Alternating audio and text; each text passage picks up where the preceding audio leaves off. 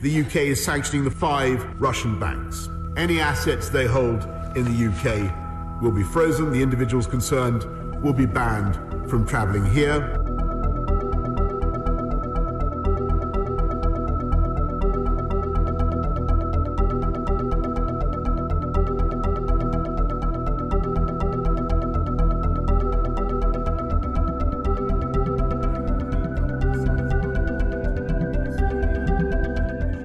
Today, the UK is sanctioning the following five Russian banks Rossiya, IS Bank, Gen- General Bank, uh, Promsvyaz Bank, and the Black Sea Bank.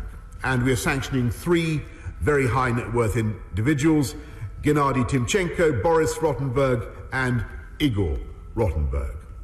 Any assets they hold in the UK will be frozen. The individuals concerned will be banned from travelling here and we will prohibit all UK individuals and entities from having any dealings with them.